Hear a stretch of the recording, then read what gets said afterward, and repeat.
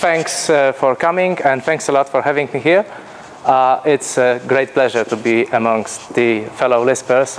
And uh, my name is Dercz and uh, I'm Polish, so my England speaks not too happily, but I hope you can cope with that.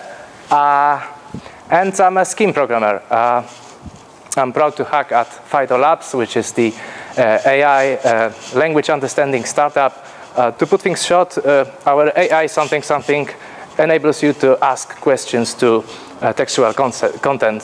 So uh, I don't mean things like uh, Obama was born in Hawaii thing, but uh, also more sophisticated forms of linguistic behavior like, I'm sorry, thanks for that feature, I would give you a higher rating if blah, blah, blah.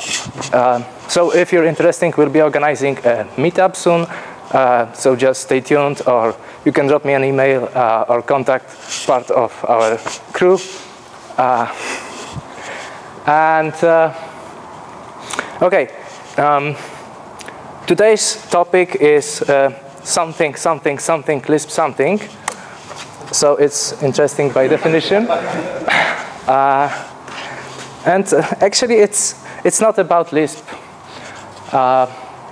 but hopefully uh, you will find it uh, you know, interesting. So in order to start, we need uh, a simple uh, Lisp interpreter. So it's a lexical, pure uh, Lisp variant. Uh,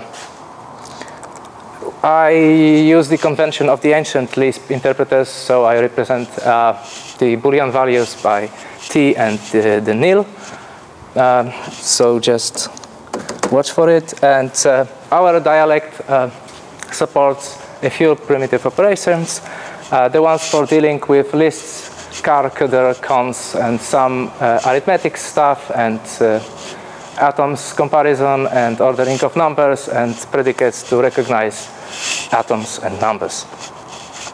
So, okay, the heart of the, uh, how many of you have never implemented a Lisp interpreter before? Okay, thank you. Uh, I was thinking about doing a, a, a, live coding session, but I was afraid that I'm going to freak out, so I just will show you how it works. And perhaps we will do some live coding later on when I stop shaking. Uh, the heart of the interpreter is the evaluation function. It takes a, a Lisp expression, and it takes some environment, and uh, returns the expression that is the value of the input expression with respect to this environment. Uh, as you can see, we are having two environments, in fact, and this I will explain in a minute, but just uh, how does the thing work? The value of nil is nil, the value of t is t, numbers evaluate to themselves, uh, and closures as well. Closure is internal representation of a closure, uh, but I think you get the idea. And now uh, the symbols are meant to work as variables. So, uh, sorry. Uh, so the value of uh, a symbol is just, uh, you know, you look up the environment for that symbol and find out what it is. However, I wanted uh, the symbols representing the primitive operations uh, to evalu evaluate to themselves, and in order not to not to construct this environment with self-evaluating objects, I just hacked it with hacked it with if, this one. Okay, now the three special forms of uh, most Lisp implementations, I think. Uh, it's the quote form, and the quoted expression evaluates to the expression. Uh, it's the uh, conditional expression. So uh, if the value of this guy over here is nil, then we evaluate the else branch. Otherwise, we uh, evaluate the then branch. And uh, uh, the most important special form of all special forms, the lambda, it simply creates closure. So it takes uh, this lambda and its uh, current local environment, binds them in, in, a, in a nice pack, and, and that's it. Everything else you have in your uh, Lisp program is just an application. So what do you do when you have an application? Well, first you evaluate all of its components, so the operator and each of the operands, and then you just look what what what uh, what's the result. So it might be uh, an application of primitive operation, in which case you just you know, perform the operation. And uh, it might be a closure, like this one. And uh, what's the value of a closure? Well, you evaluate its body, the body of the lambda which created the closure, with respect to the new environment, consisting of, first of all, binding of argument names and their values, and the enclosed uh, environment that was in this closure. And that's, that's all. I guess we can evaluate that. Uh, is there anyone using Geiser environment in Emacs? You don't know Geiser. Okay, so if you like what you see, how Geiser takes care of me, then uh, I can share my .emacs file with you. Uh, it's uh, incredibly um, efficient way of hacking a scheme uh, using uh, Emacs with Geiser because you know I can just type in some uh, expression and evaluate you get the results down here. Ah. So it's very useful because uh, you know you can just be sitting inside of your program and modifying it. Uh, okay, so let's see if the thing actually works.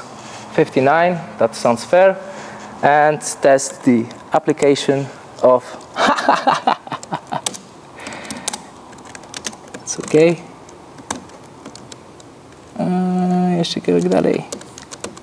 Ah, yes, that's fine. Uh, so now uh, we do have the evaluation function, which is the core of the interpreter. Now we would like to have uh, some procedure which receives a program in our small Lisp and some inputs and you know evaluates the program. So the convention I have used is that the program is uh, a list of definitions. Uh, definitions uh, just consist of uh, a variable and some expression that is being bound to it. And uh, the last definition is the uh, is the uh, initial mm, part of the program. So uh, the the inputs of the program become arguments for this last um, procedure. Okay, so uh, how do we go about running a program? We simply need to build a top environment. That is the environment of these uh, procedures, probably some constants, because you know it could work like this. It's, it's nasty, but we could you know, just uh, define some constants, constants in here. But the main uh, theme is to build the top environment with uh, procedures. So we start with the empty environment, and then we pick uh, procedures, we pick definitions one after another. Uh, we take the variable from it, which is the second element of a list. Uh, we pick up the expression, the third element, evaluate it with empty local environment and the top environment built so far. We actually could have the empty list in here.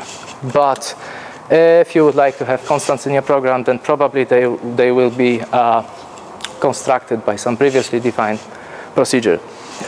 Uh, and what do you do? You update the environment that you already had with respect to this variable. Uh, you bind it with the newly evaluated expression, and you go on with the rest of definitions.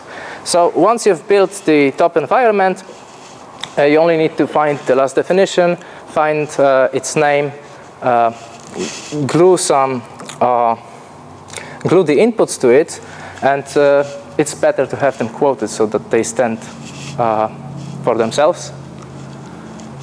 And that's it. The value of the whole program, the output of the program, is just evaluating this last, uh, this, uh, this expression consisting of name of the last procedure with the input. So let's see if it actually works. I evaluate this and that. Good. Okay, uh, can you see this, this uh, line at the bottom? Because we can use some, perhaps. Oh, now it's better. All right, so that's all about the, the small Lisp. And uh, now I would like to introduce another language. Uh, I will show you an example. Mm -hmm. Okay. Uh, the language is called FCL. It stands for Flowchart Language. It has been developed by uh, the School of Copenhagen. Uh, they invented it to simplify their investigations in automated program generation. And uh, programs in FCL consist of three parts. The two small parts are the names for the inputs of the program. Uh, the second one is the starting program point. So you start executing the program at this uh, program point. And the rest is uh, the block map. The block map is a mapping from program point names to codes, uh, to, to blocks of code. And each block of the code consists of zero or more uh, assignment um, statements, comments, assignment comments, and uh, their aim is to modify the global environment. And after this zero or more assignments, uh, we do have one of three possible uh, jump um, commands. Uh, return is just terminating the execution of a program and returning the value of some expression. In this case, it's the expression R. And uh, you do have also uh, unconditional jumps and conditional jumps. So I know it reminds me uh, of BASIC, perhaps. It's that sort of things. Uh, okay, so mm, why should we be interested in this language? Mostly because, uh, well, it does operate on the same, uh, we can make it operate on the same uh, algebra as Lisp is, the algebra of uh, symbolic expressions. So you can uh, do all this cons, car, stuff. And uh, programs in FCL seem to be relatively easy to be compiled into assembly or some bytecode of, of uh, anything, or to C. And you can perform many uh, smart things that I don't know anything about because I don't know how to do compilers. So that's, uh, that's because I started this project. Uh, because I didn't know how to write a compiler, but I wanted to have my programs compiled. Um, so how do we go about implementing this language? This one is pretty easy. Looks like this once we're having a Lisp interpreter, it's relatively easy because many parts are common. Uh, the first thing uh, we would like to have is oh, just is to be able to evaluate uh, FCL's expressions. So this is a performance version of uh, Lisp evaluator. Let's call it eval exp and it takes an expression and the global environment and tries to evaluate it. Mm, perhaps let's make it more fancy. Expression. Okay, so um, in a large part it's the same as in as in uh, Lisp. It's just uh, you know ground uh, terms um, evaluate to ground terms. Uh, only we do not have closures and the primitive operator is uh, not allowed in the value position, so we don't need to do this. And uh, actually, we do not uh, have a top environment. The, the env variable stands for uh, the, the global environment. Oh, I started doing it in here. Okay. no closures, no primitive operations as values. So just the, uh, the value of a symbol is whatever the lookup tells you it is. And now the primitive operations. So just take these ones. And now we've got a nasty job to do because last time uh, arguments were evaluated by the map uh, function in here, so we need to uh, evaluate them explicitly. All right, are you following? Good. Now I'm sorry I have to do this like like this, but it's it's a dirty coding. So. this and this and yes some more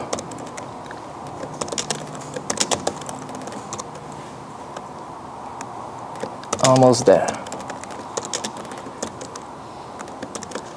okay and this one is too small for me Attic, Attic. Oh, he doesn't like something. Ah, yeah. No, it should be. Uh, should remember it.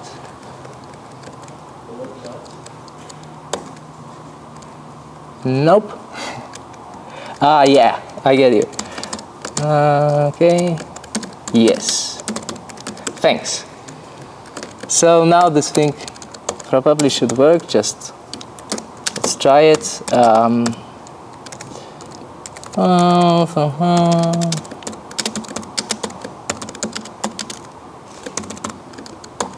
ah, good. Uh, so now uh, half of the code for the FCL implementation is behind us. Now uh, things are going to be easy. Uh, all we need is uh, to be able to execute a single block of code, which is relatively simple. You just um, run block, perhaps. Just take the block and uh, the current state of the environment, and I will be passing the whole block map around because of the goto thing. Um, so yes, it's useful. So the block can, can uh, start with some um, assignment comment. It might be, oh, perhaps I'll do it like this. So it's let some variable, some expression, and the rest of the block.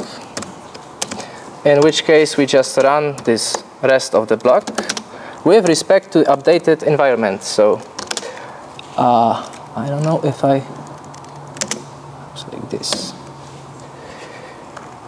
Mm, update variable with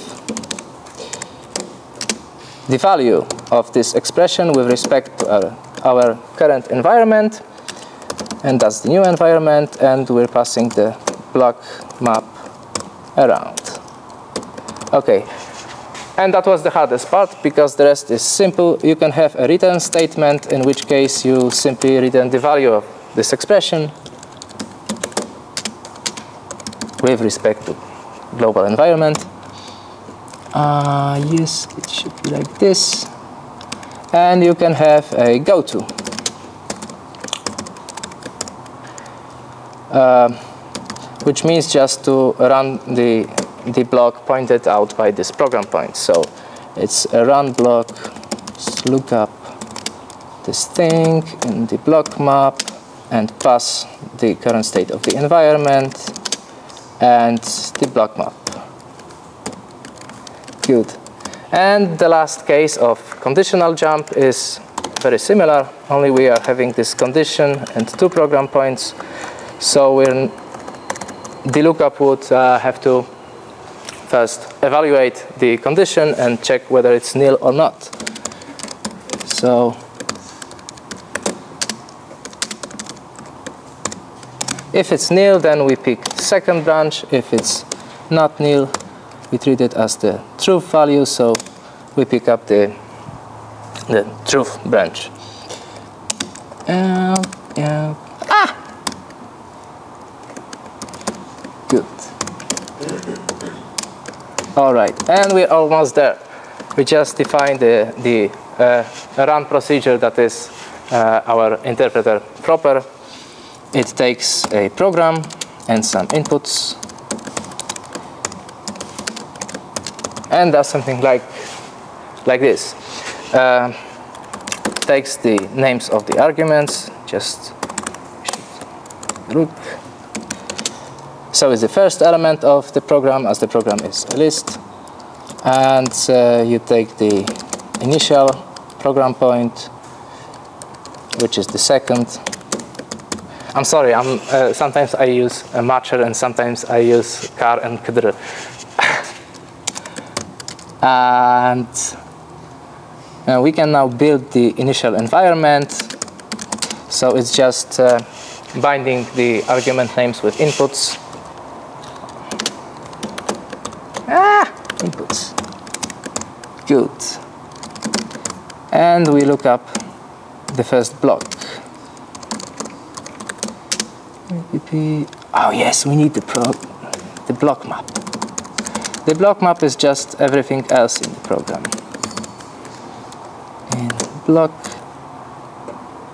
map.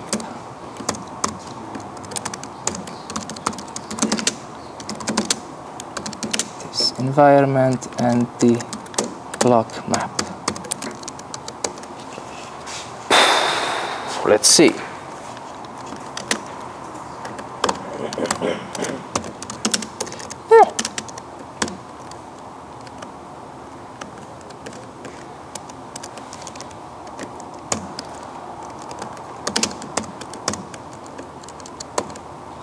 Good. Now, uh, you probably do realize what does this program do. It computes the uh, nth power of the number m, and it seems to work. So our interpreter is uh, luckily okay.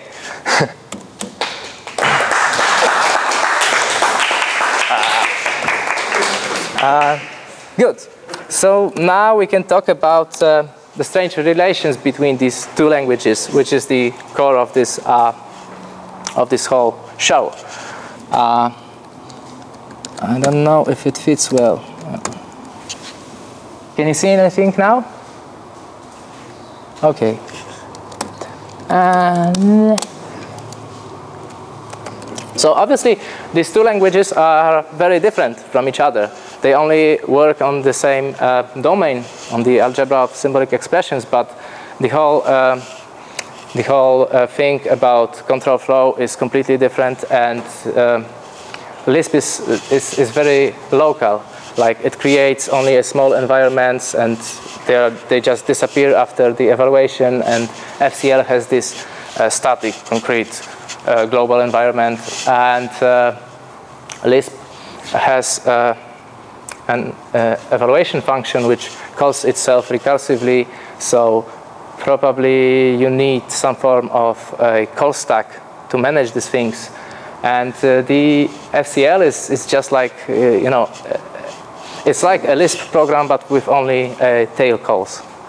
So what could we do to um, transform a Lisp program into FCL to have some fun? Well, we need to get rid of these two things. So first of all, uh, to get rid of, uh, of non-tail calls in order to forget about the, the, the, stack management. And then we need to get rid of lambdas, which create local small environments, and to be able to uh, operate on them using uh, a global environment. Mm. Now, uh, I don't know how um, modern scheme compilers work. As far as I'm concerned, they are doing something similar to what I found out. And what I found out is uh, if you take a Lisp program and uh, convert it to continuation passing style, then the problem of stack is gone. Because the last time, uh, the last thing each uh, lambda does is just to call its continuation. So it's, it's a tail call. Uh, and I don't know, you know, uh, sometimes I can do it on paper, but I didn't know how to uh, mechanically perform uh, the CPS transformation. But I found some paper by Mr. Olivier Danvy, and there are lots of papers on, on anything he, he, he, had written. So I just took his equations, extended them to Lisp, and implemented a very simple uh, CPS transformer. It's ugly, it's horrible.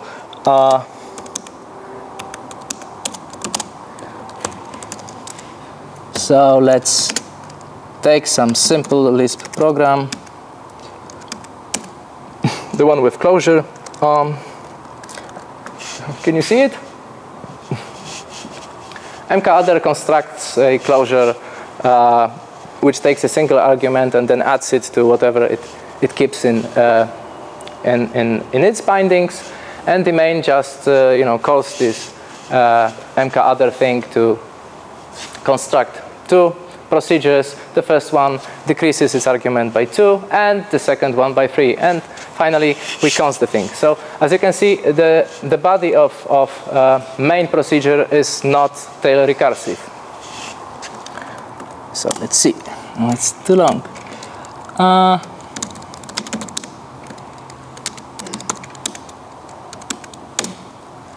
all right.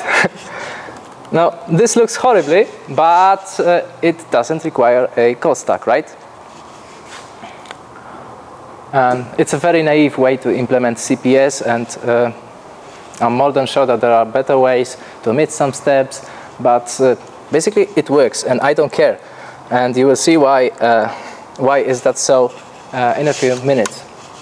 So the first problem is solved. Now all we're left to do is to get rid of lambdas. And the bad thing is now we do have a lot more of lambdas. Uh, but smart people have invented uh, a trick to convert a higher order functional program into the first order one. So uh, they get rid of the closures by replacing them with a small data structure which has some identifier so that it knows uh, what lambda form had created it and it keeps the values that would be you know normally locked inside the closure and uh, there is also a marvelous paper by uh, Olivier Danvy, uh, three steps to CPS transformation, something like this. So I read it and had implemented it horribly, but it seems to work. Uh, so if you apply our original program, not, not the one in the CPS form, what we get is this. Um, there is only single lambda. It's called apply. And its aim is to you know, recognize the data structure representing the closure and to act as if the closure was applied to some values. Okay, so uh, for example, our MK other uh, procedure has now become, maybe I will show the original. Uh, okay, the MK other uh, now just becomes uh, some label with the uh, empty inner environment or, or, inner binding. And the meaning of this label isn't here. It just means, you know, um, you're going to get some arguments, uh, create this data structure representing some other closure, and enclose the first of your arguments, the only one that you actually have, uh, with this label. So now, uh, each place which was the application side of this lambda is replaced with the call to apply. And apply is being given this, uh, this uh, data structure representing the closure. And it's, uh, it takes a list of values that we want to apply this uh, closure to. Okay, so it looks uh, not very nice, and if, if, we perform both of these transformations, we get a monster. Uh,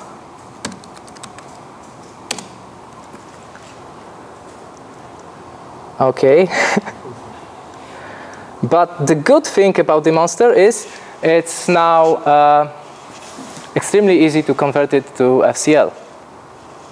So what you do is you look at the this this apply uh, function. Uh, you convert its uh, if structure into some big uh, block of of uh, of ifs that dispatches depending on the label, and then it, you can create uh, for each branch of this, of this if thing, you can create a single block which only takes two things, two lists, args, and, uh, and label, and produces two more because the last thing it's going to do is to call itself. So it's like a big switch statement where the, uh, each branch ends with go to, to the beginning of this switch statement. Uh, so I did it. Uh, Mm. And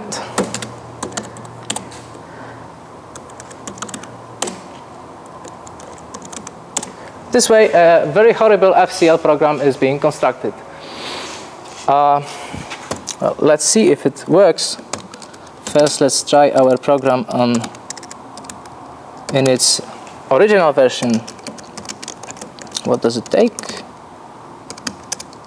Oh yes, it's called X. And is that correct? Okay, so it like works like this. It takes uh, the input and then creates two copies of it. One is uh, incremented by two, the other by three, and we cons them. So the newly generated program should work just the same. Ah, three. Good. However, uh, it's like four, five, six, over six screens of code um, to perform a very simple um, set of operations. So it's, it's horrible. Uh, I mean, most of its runtime, this program only takes care of itself. It just uh, looks up the labels in order to find out what the control flow is, and uh, it, does, it, it constructs this uh, new list of arguments, uh, so conceals some things, then gets to them back by using car, and it's horrible. I can't even show you where, where the real computation is in, in this thing. So wouldn't it be nice if we could take this program and you know, use some tool that would extract the real meaning of this program. The real thing that is to be done is, you know, take this thing, add two, add three, cons, boom, done. And it is possible. Uh, this program, echo the argument is called x, okay? I'm just telling it now, I don't know what x is. It's just something.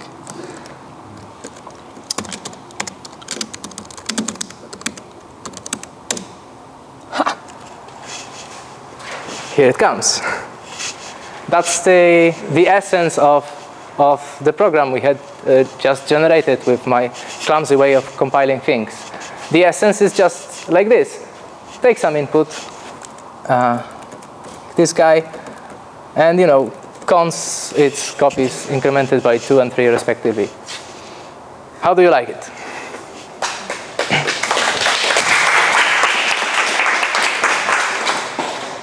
Mm. Good. The, the FCL, Excuse me? Does it depend on the syntax on the FCL or is it actually functionally, is it dependent on FCL? On, on FCL? Uh, the method itself, no.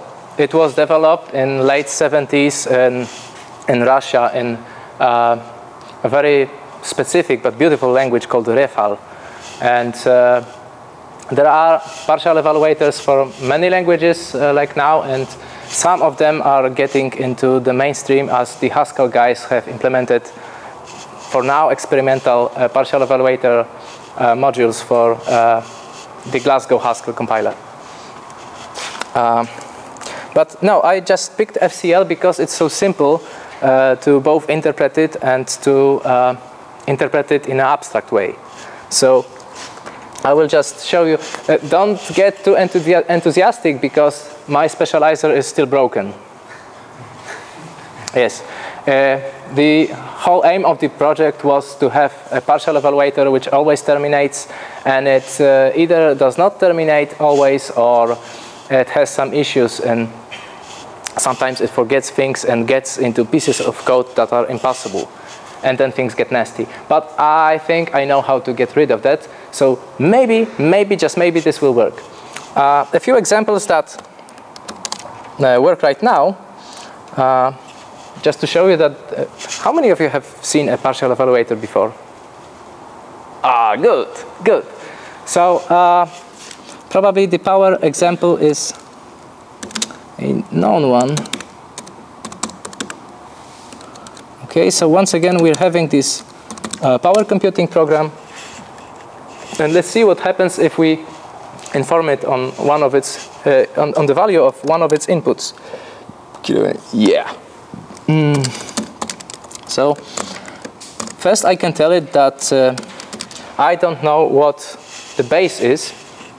So it's just something. But I do know uh, the exponent, the value of exponent. And let's say it's 5. All right.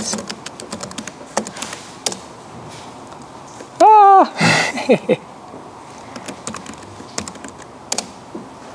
okay. So, experiments once more. Because the whole control flow of wow, the whole control flow depends on the value of the exponent which was known uh, the partial evaluator was able to, uh, you know, just follow the whole process and to remember to, to, to accumulate the computations that are uh, really uh, meaningful to this program. That is, uh, that the uh, result depends on them. So what it did, it found out it's okay, n is 2, uh, so we take the, the false branch, let's loop it, we decrement uh, n, and we mm, accumulate some computation about r. Uh, we get back to the test, n is 1, so it's not 0. We repeat, and after those steps, uh, those five steps, we get this expression. Uh, and this example you probably have seen with uh, many other partial evaluators but the next one was a very pleasant one to me because my, my previous attempts did not terminate on this case. Suppose we do know the base, its value is 5, but we do not know the exponent. Maybe. So the resulting program is uh, a bit uglier than the original. Uh, because this uh, test block got uh, residualized twice, but it basically states the same thing as the original program. The only difference is it tried to propagate the constant that we know as far as it could, and it was only inlining it in the multiplication expression. Good. Now, how does this thing work? Are you interested? Okay, uh, these slides, no, no, no. I have prepared an animation for you. uh, so the basic idea is, uh, the basic idea is this. Uh, we will uh, develop a graph. Uh, at first it's a, it's a tree, which represents a possible processes generated by this program.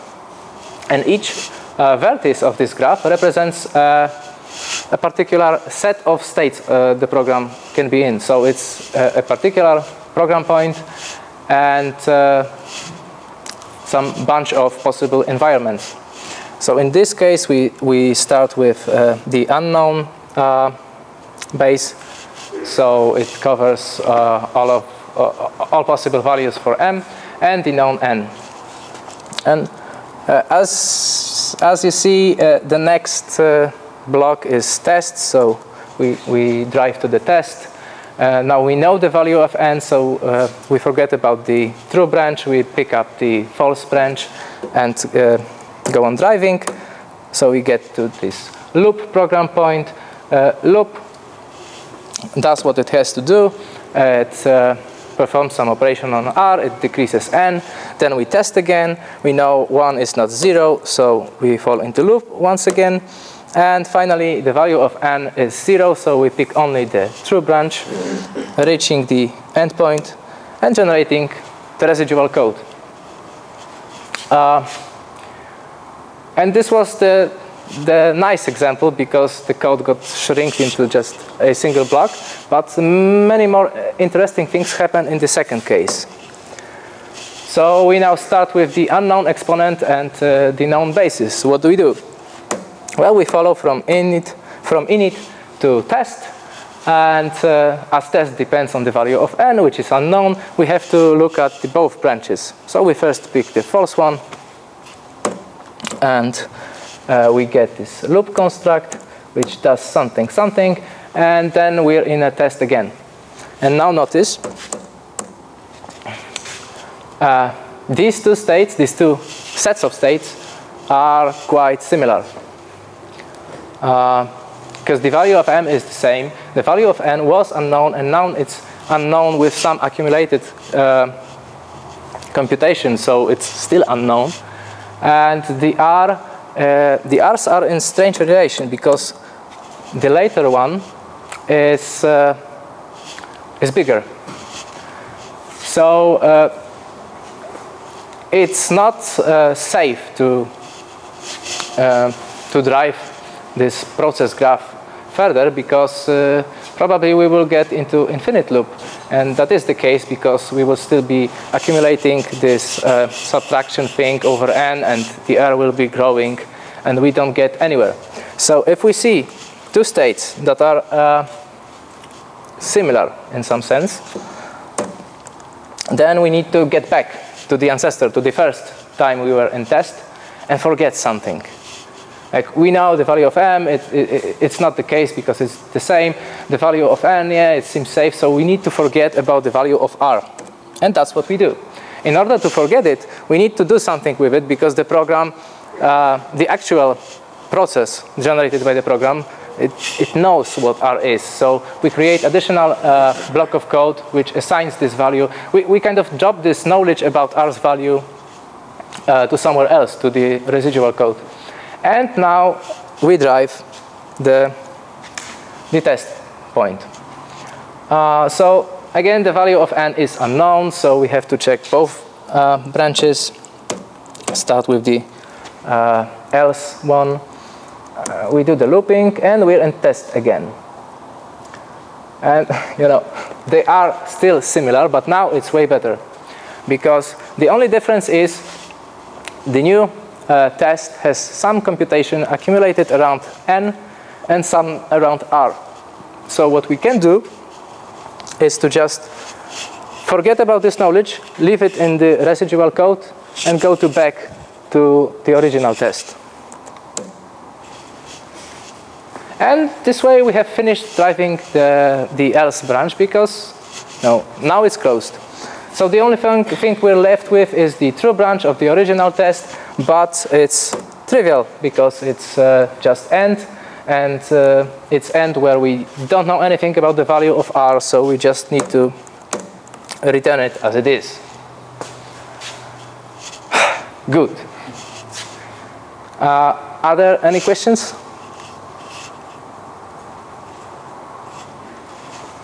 All right. Now, uh, these notions of uh, two configurations, that is, sets of possible program states being similar, uh, have been formalized in, in many ways, and uh, it's a rigid notion of being close enough. And uh, probably I'm having some error in implementation of this part.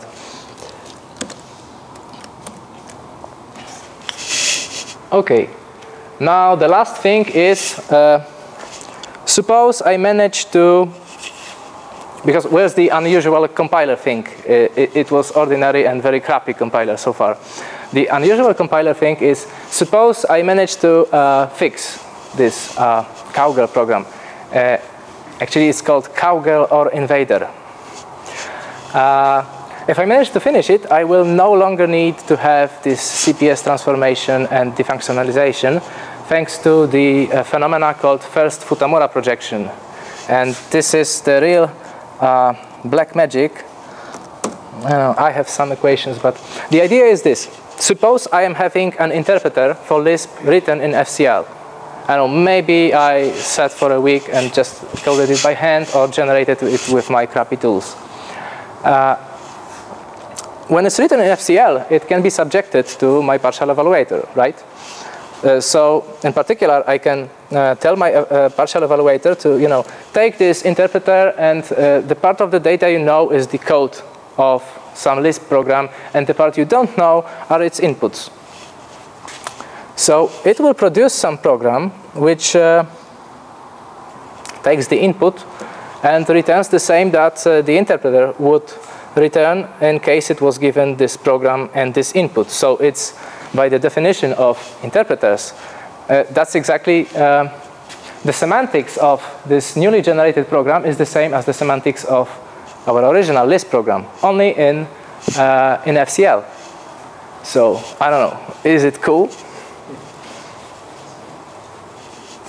All right, so uh, to recapitulate, uh, the thing I would like, I, I, wanted to say is that first of all, I believe compilers uh, should do more, and they can, and that uh, finally I would be able to write my programs that look like mathematical definitions and have the compiler to figure out the uh, more or less effective way to to perform the computations, to extract the essence of this computation. And the second thing uh, is that computer programs are strange entities. Thank you.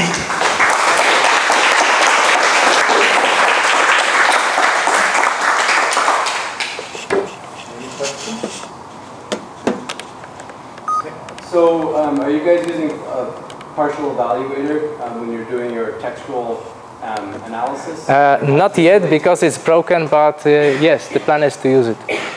Because of its uh, capability to compile stuff.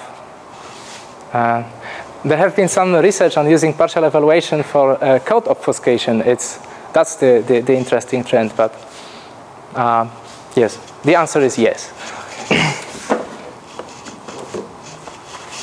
Have you played much with uh, Scheme 48's partial evaluator? Uh, no, no, I, I, I, have never used it. I once saw uh, the Similix thing, and I think that's all. Uh, does it terminate when the control is... Uh, I, don't, I, don't, know about its hmm? termination properties, but I think the same folks who were involved with the book you referenced as 2 didn't read. Mm -hmm, mm -hmm. I think they would... Uh, I think it's a bit pleasant. Ah, if, if it was made by the same guys, then probably it's uh, a variant of Similix or a prototype for Similix. I don't know. Uh, I'm not much interested in uh, offline partial evaluation, and their book is entirely about it. Uh, you cannot uh, you cannot use certain informations when you're doing uh, it this way because you have this binding time analysis time where you don't know the particular values. You only know they are uh, they are static, so you once and for all generate this template. It just doesn't, uh, it, it isn't aggressive enough. It isn't, aggressive enough. Uh, are a hot topic, and uh, they are doing, uh, I, I, just got this, uh, I just got this ideas um, using the graph, the, the, the process graph, and the generaliz generalization step from the supercompilers. Mm -hmm. What are some good materials on partial evaluation? There's a page that has a huge bibliography. Um, you mean readscheme.org, right? Uh, the readscheme library. Um, so, can you recommend any particular things? Uh, I think the, the, the, the, links that I've posted are, um, are kind of cool because they are very short presentations and you can you know, just read it during the weekend and uh, another weekend try some code and, and uh, you're on board. And this Too Long they Didn't Read the book on program generation is, is, is very cool, uh, but it's long and it's only on offline partial evaluation, which is uh, it used to be popular in the 90s because people believed that you cannot uh, perform Futamura projections using online uh, uh, partial evaluators. However, uh, in 2011, a very smart guy from Austria who hangs out with the Copenhagen school, what was his surname? Robert Gluck. Robert Gluck uh, did a an online, very simple online partial evaluator for FCL, which uh, did, um, which was auto projector, so that you can you could use it on itself. Uh, the trick was he extended the the FCL language to have some form of tail calls, and that way he didn't have to manage uh, uh, the list of, of, of, pending things to be, uh, to be specialized. Uh, instead of having list, he was using uh, the call stack of the, mm, the host language and that way he succeeded in, in, in self-application. I did play around with, with his code because his paper uh, just has this big printout of FCL code. It was very pleasant. It reminded me of uh, being a child and uh, rewriting basic code from papers. So yes, uh, now I think online partial evaluation is, uh, it seems more useful. papers that, uh, that you sent along were in the meetup.com announcement for which you apply. Or business. Okay, are we good? Yep. Sorry if you, if you mentioned this earlier. I was wondering about uh, the role of side effects in mm -hmm. thinking about language no. design and implications for uh, I, I didn't mention it, and I believe this will be a little problem because you can sometimes omit some uh, Suppose a language hosts a command like read, which just reads a symbolic expression from the standard input.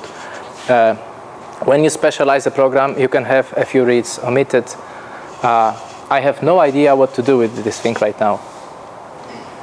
But if your application a side effect-free language, and that, that would be completely fine for what you're... Yes, yes. That, that's, that's why the, the point was to rather to compile Lisp programs than to have uh, a real universal partial evaluator for FCL itself. yes, precisely the order of comments might change because of this accumulating computations thing and you drop uh, you drop some of the information into the residual code at uh, almost random moments. So yes, things will get complicated with that. However, you can uh, probably you can uh, manage some things uh, reusing the fact that it was generated from the CPS form, maybe. I don't know. Uh, I will have this problem later on when I fix it.